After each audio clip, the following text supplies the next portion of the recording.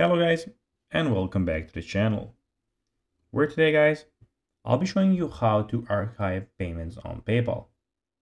So guys, the first thing that you of course need to do is go to paypal.com or of course go and download the PayPal application on the Google Play Store or the App Store. When you did that, you just need to go and log into your profile or register to PayPal if you already do not have a profile. But now guys, let's see what we actually have in front of us here.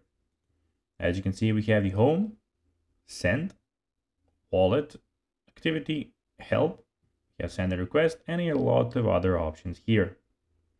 But now guys, let's see how you can actually go and archive payments on PayPal. It is pretty simple and you just need to go and follow these few steps to know how to do it in no time.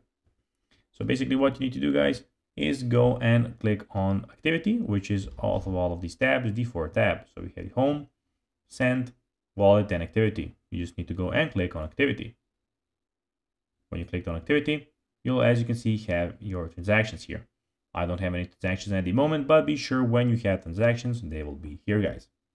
So find the payment you want to archive and click the drop-down menu or the archive button for the payment.